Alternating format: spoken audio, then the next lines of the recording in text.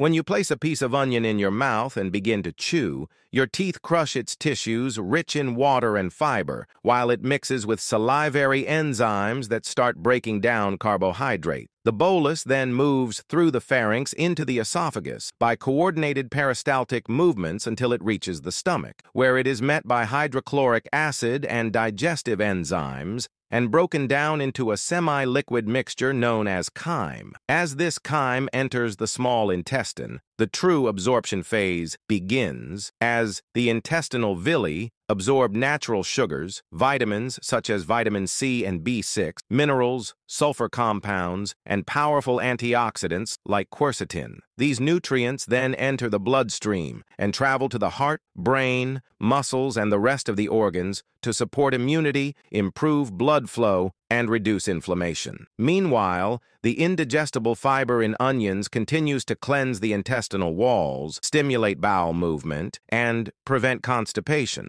Ultimately, this integrated process contributes to supporting digestive health, strengthening the immune system, improving heart health, and helping regulate blood sugar levels when consumed in moderation.